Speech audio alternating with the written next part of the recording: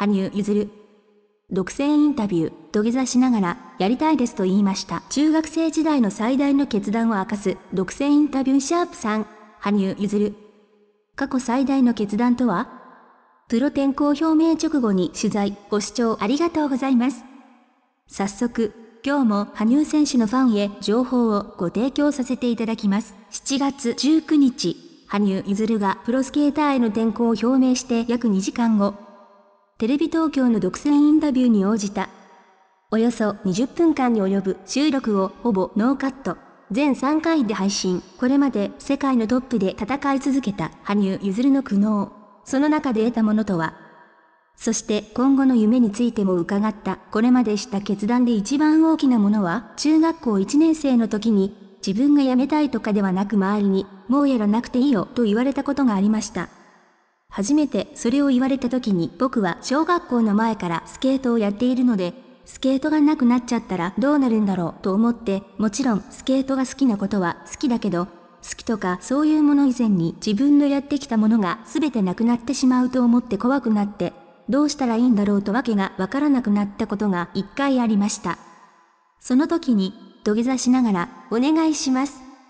やりたいですと言ったのが自分の中では一番大きな選択だったと思います。あのまま僕がスケートをやめてなんてことのない生活を送っていたら、こんなにたくさんの方々に応援していただくこともなかったです。それが確かに重たいなと思うことはなくはないんですが、そのおかげで人間としても色々な景色を見させていただいて経験させていただいて勉強できているなと思うので、実際に人生が豊かになっていると思います。その時にスケートをやめなくてよかったなと思います。苦しかった3つの時期、僕は苦しかった時期がかなり色々あって、一番最初が小学校4年生の時に初めて全日本ノービスで優勝して、その次の次の月くらいにリンクがなくなってしまったんです。その後違うリンクで練習することになるんですが、全然うまくなれなくて、同期に抜かれて、そこで停滞してしまったんです。それが苦しかった時期の一つ目です。せっかく上手くなって、やった。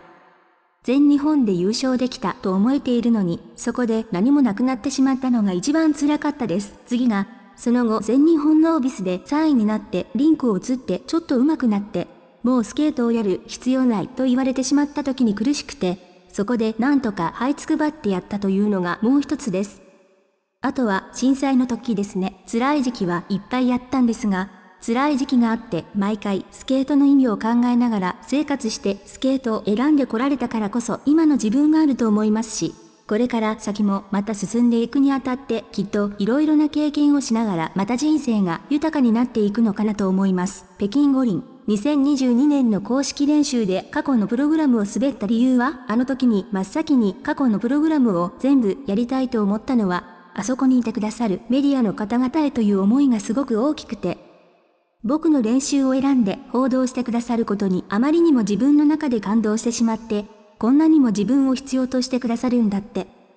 結果を取れなかった自分が、夢を叶えきれなかった自分がこんなにも皆さんに必要とされるんだと思った時に全部を見せて皆さんに恩返ししたいなと思ってやらせていただきました。この先の夢や目標はとにかく4回転半を成功させられるようにしたいというのと今まで練習してきたこととか努力してきたこととか色々ありますが、全部皆さんに見せられたらいいなと思っています。その機会がどうなるのかわからないですけど、やっぱり羽生結弦の演技たちっていいな、見る価値あったなと思ってもらえるように、さらに努力することが今の目標であり夢です。コメント、子供の頃から羽生さんは自分自身のスケートに向き合いながら乗り越えてきたんですね。小学生から中学高校に上がるにつれて、周りの人に問いかけられ本当に続けていきたいという意志があったからこそ、その後の震災という困難も乗り越えて今がある。本当に人生どこでどんな可能性を秘めているのか。羽生さんにとってのスケートは、なくてはならないものになっていたというのが、